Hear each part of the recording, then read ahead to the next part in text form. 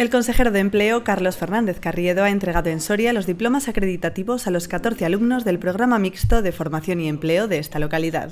La Junta de Castilla y León invierte más de 16 millones de euros para contratar a más de 1.500 trabajadores en programas mixtos de formación y empleo durante el curso 2018-2019.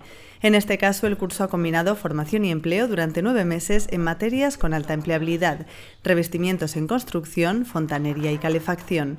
Dentro de los objetivos de estos programas, Fernández Carriedo ha destacado los siguientes. Estamos contribuyendo a la formación de los trabajadores y, por tanto, mejorar la formación de las personas que están en desempleo en nuestra comunidad autónoma.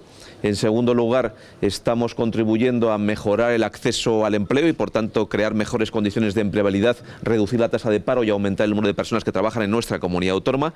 Y, en tercer lugar, hacer tareas concretas en beneficio de los municipios y del compromiso con el mundo local de Castilla y León, en este caso en una capital de provincia, pero en otros muchos casos en el mundo rural de nuestra comunidad autónoma. Por lo tanto, son tres objetivos muy importantes. La formación de las personas, el empleo y la mejora del número de ocupados y la prestación de servicios y de instalaciones al conjunto de los ciudadanos de nuestra comunidad autónoma. Está demostrado que las personas más cualificadas tienen un empleo con más remuneración, que tienen un empleo también más estable en el tiempo y que es más fácil que accedan al mercado de trabajo. Los programas mixtos de formación y empleo alternan la formación teórica de los alumnos con un trabajo a jornada completa a partes iguales.